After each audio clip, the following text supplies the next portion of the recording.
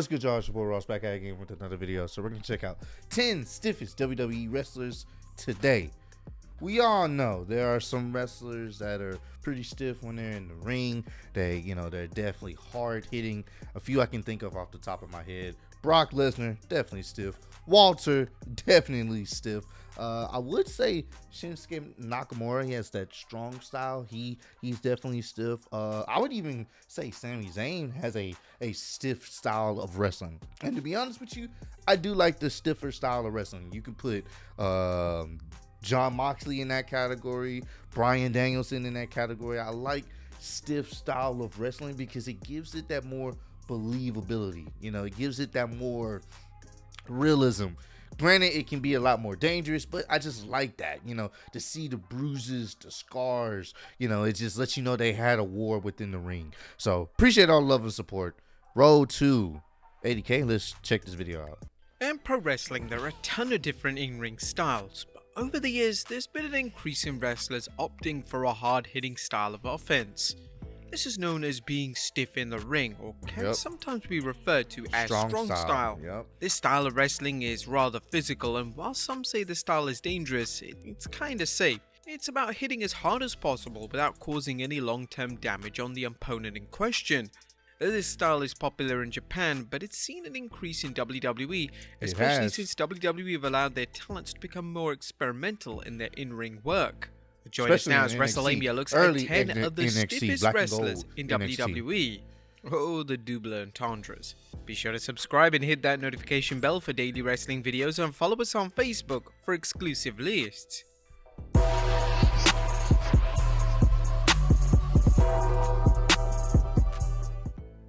Number 10, Drew McIntyre. A former WWE champion, He- Drew he has McIntyre stiff, has uh, always been incredibly stiff from in the to time, ring. for sure. During his initial run in the company, Drew was rather reserved in his offense, but all this changed after a successful run in Impact Wrestling as well as the independent scene. Mm-hmm. When Drew returned to the company in 2017, his in ring style had completely altered. Drew was now insanely physical in the ring, and this allowed WWE to see him as a legitimate tough guy, as well as someone they could put in a Mm-hmm. main event position.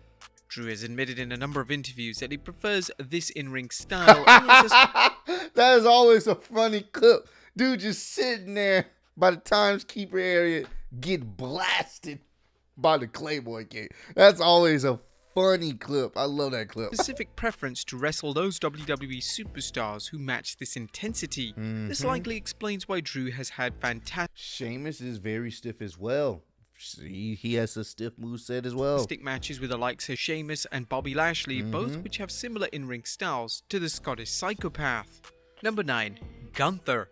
A very few super. Walter. superstars on the WWE roster can match the sheer intensity of Gunther, Walter. aka Walter.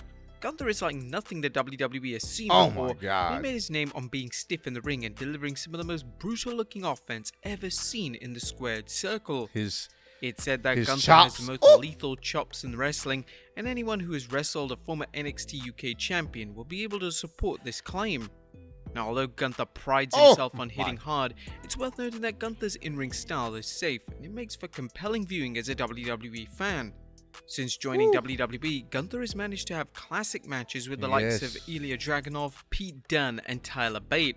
All of these have attempted to match the ferocity of Gunther's offense, which has naturally resulted in some of the stiffest matches in NXT history. facts. Number 8, Goldberg. Hmm. Goldberg's reputation for being overly stiff in the ring began in WCW, and this unfortunately Yep. continued to his Yep, this is this is true. Uh, I think he was part of the reason why Bret Hart ended up he had to retire at one point. I think he was the reason why Bret Hart ended up retiring because he was too stiff. I could be wrong. Correct me if I'm wrong, but I believe that was the story. That's what happened. his two respective runs in WWE. Goldberg, unlike anyone on this list, doesn't quite pride themselves on being stiff in the ring. That's because most of Goldberg's stiff offense comes from dangerous and reckless accidents in the ring. In WCW, Goldberg notably hit Bret Hart with a stiff kick to the head. There we this go. would end a promising career for the wrestling legend. Yeah, called it spot on. In WWE, there are a number of examples of Goldberg being stiff that could have resulted in serious injury. The most well known example Yeah, of this is one. Goldberg's infamous match with The Undertaker.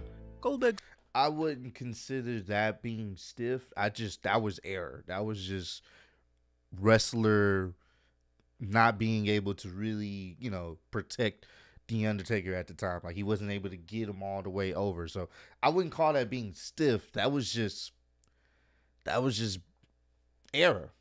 You know what I'm saying? He he made a mistake or whatnot. I wouldn't call that just oh that was a stiff move. He just he literally damn near dropped him on his head. I don't think it was intentional. He just couldn't get the full rotation. Stiffness came out of a concussion, but nevertheless, this was an example of where a WWE superstar being stiff in the ring crosses a line and becomes incredibly dangerous. Number 7. Bobby Lashley. Hmm. Similar to Drew McIntyre, Bobby Lashley returned to WWE back in 2018 with a brand new wrestling style. Lashley was now a successful MMA fighter and his in-ring style incorporated a lot of MMA style moves. Lashley is now extremely physical in the ring, but He he's is. without a doubt one of the safest and reliable superstars on the current roster, having never injured anyone. And this revamped in-ring style made fans draw comparisons between Lashley and Brock Lesnar, and the two would Mhm. eventually square off in a dream match at the 2022 Royal Rumble, which Lashley won. The more physical Even though that match was kind of lackluster because Bobby Lashley barely got any real offense. If you want to be honest here, they Bobby Lashley really didn't look like he he even stood a chance in that match if it wasn't for certain interferences, which sucks because I think they could really ha- tell a great story in the ring possibly, but they went with the ladder to really promote what's going on with Roman. But be honest with you, the match build up did not live up to the hype between those two. In my personal opinion, it was okay, but I just think Bobby Lashley he didn't really get the offense he deserved to get within that match.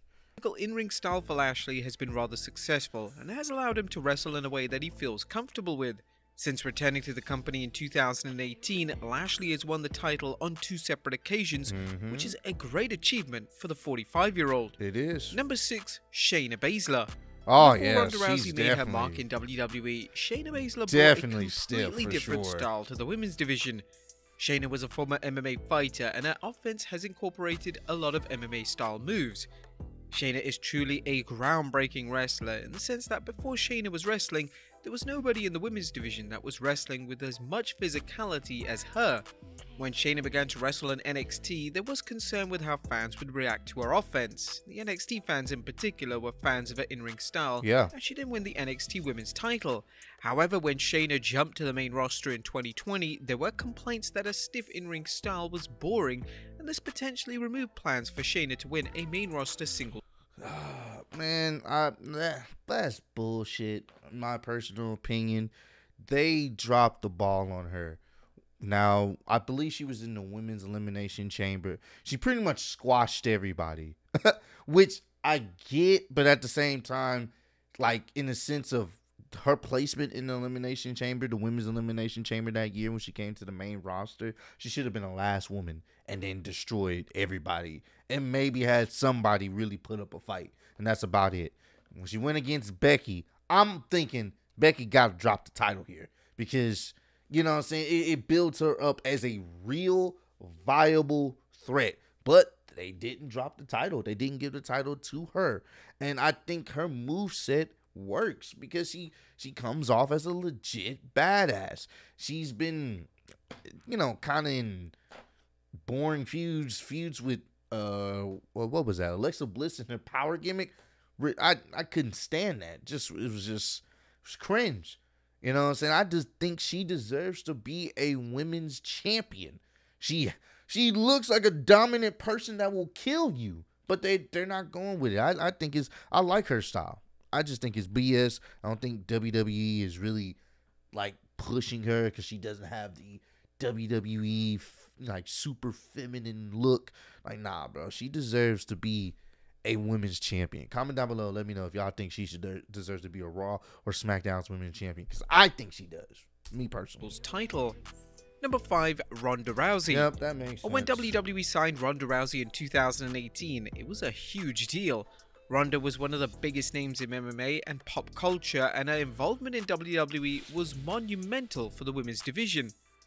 Ronda quickly became a full-time talent in WWE, and she would wrestle virtually every WWE Her match superstar with uh, in the Sasha women's Banks division. was pretty good too. Ronda was coming into WWE with an MMA and judo background. God This naturally damn. translated into in-ring work. Whilst Ronda was stiff in the ring, the majority of her offense looked credible and legitimate, and this was seen as something fresh from an in-ring point of view. Other It's just her promos are fucking boring. She needs someone else to talk on the mic because she is not entertaining to listen to. She's so boring. There were a few complaints from the likes of Alexa Bliss and Nia Jax that Ronda was too stiff in the ring, but these comments weren't supported by others who wrestled a former Raw Women's Champion.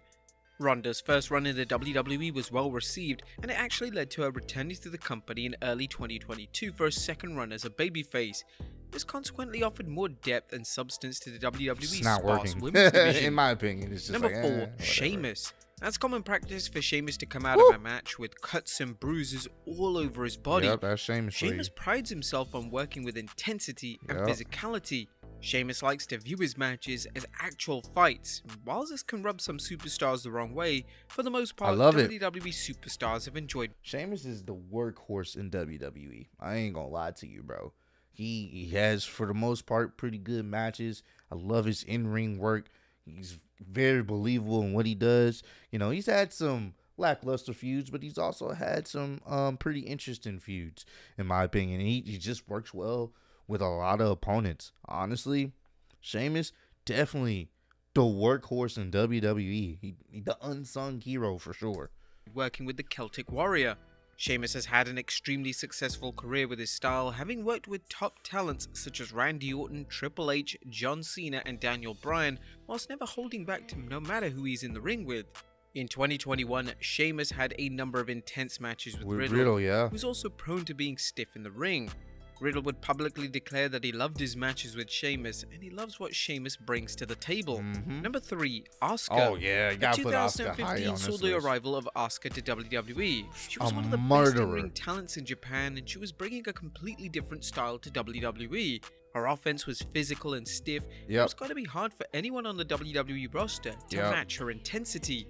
Asuka was an NXT standout, and she had an historic NXT Women's title reign which brought credibility to the division as well as the Mhm. title. When Asuka was called up to the main roster in 2017, she once again found success. And here's the thing about Asuka that I was enjoying what they were doing. I want to say she vacated the title. Nobody beat her for the NXT title. If, correct me if I'm wrong, but nobody beat her for the NXT title. She gets to the main roster. They continue her win, win streak on like announcing it. She was running through everybody, and they had a pretty good match with her and Charlotte. And what do WWE do? Give the win to Charlotte. Now, is Asuka like, you know, buried because of that? A little not at the time she she lost a lot of steam because of that loss because that was BS. I think Asuka should have won that match. I think a lot of us believe Asuka should have beat Charlotte that that WrestleMania uh that WrestleMania night.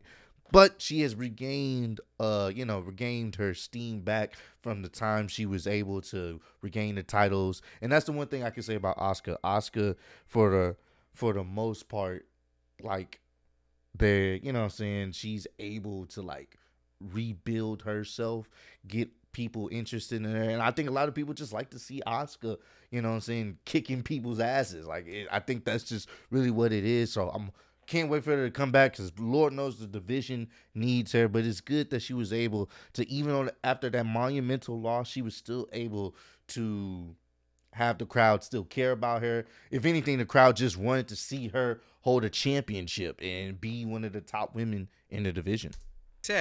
Although Asuka kept her in-ring style the same, she was incredibly charismatic, meaning casual WWE fans took to Asuka and made her one of the most popular See? female stars ever. She's Number still two, up there. Shinsuke Nakamura. Knew it. Now, Shinsuke Had to be Nakamura's nickname list. is the King of Strong, Strong Style, and for good reason. During Nakamura's days in Japan, he attained a reputation for being stiff in the ring Yep. and to make everything he did look absolutely devastating upon execution. This helped Nakamura have some of the most physical matches in Japanese wrestling history, and when Nakamura joined WWE in 2016, the King of Strong Style continued this style against some of the biggest names in WWE history. Yeah. During his WWE run, Nakamura had wrestled the likes of Cena, Randy Orton, AJ Styles, and Nakamura never held back against these opponents. Never. He's given them everything they can handle. And number one, apparently he's supposed to be facing Roman Reigns. I want to say at WrestleMania Backlash. Do I think the match will be good? Yes. It's something fresh. Do we honestly think Nakamura is gonna win? No. But either way, I think the match will be entertaining. Something fresh we have not seen before. And apparently he was supposed to have this match last year, but something happened. I don't remember. You guys will, will probably remember what I'm talking about. You was supposed to have a match with Roman Reigns. So interested to see how the match will play out. That's I'm gonna leave that there. Johnny Knoxville. Anyway, just joking. Number one, Brock Lesnar. Oh yeah, And during Brock Lesnar's first WWE run Super between stiff. 2002 to 2004, his in-ring work looked always great and physical, but it was nothing in comparison to how his in-ring work looked when he returned to WWE in 2012. Lesnar has been an absolute animal in UFC, having been one of the most successful fighters to ever Figured step foot in the one. octagon. Lesnar now incorporated a lot of his. MMA offense Dub into his wrestling style this- with punches, kicks, and takedowns and submission moves. Lesnar's matches always looked incredibly real and legitimate, and his matches have in turn become huge attractions on a WWE match card. Although Lesnar's offense is insanely stiff and it looks like it hurts, Lesnar is actually one of the safest guys on the roster, and there have been no complaints from anyone over the past decade about Lesnar being Yeah. unsafe or reckless in the squared circle. But there you have it, folks. 10 of I think his matches are you know they can be entertaining, but at the same time they they're really redundant. It's a whole bunch of suplexes. There's a whole bunch of uh yeah, pretty much suplexes. that's mostly that's what his match divulges into. Unless he's facing someone with a different like more of a uh, I guess a smaller opponent. When he's facing smaller opponents, the matches they flow a little bit better. Uh, his match he had with AJ Styles, uh, fantastic. The match he had with Daniel Bryan, fantastic. The match he had with CM Punk at SummerSlam when they were feuding, fantastic. It wasn't just a whole bunch of suplexes and F5s. It, you know, he's it was he was able to work with those opponents a little bit better, in my opinion. Brock Lesnar can give you a five star match. It just depends on the opponent and their move set because you can get more out of him than just the suplexes, the F5s. That's just my personal opinion. But he is definitely stiff and he has no problem dropping you on your head over and over and over. But hey, man, comment down below. Let me know who you guys think is the stiffest wrestler of all time in any era. We're not just talking about now. We can talk about the Attitude Era. Maybe somebody you know in the 80s or 70s. Doesn't matter what company. Who do you feel like is the stiffest wrestler of all time? Like when you saw them in the ring, it's like, God damn, man. He looked like he's legitimately killing this person. Let me know down below. But I appreciate all love and support. Road 2. 80K, appreciate y'all kicking with me. See y'all next one. Peace.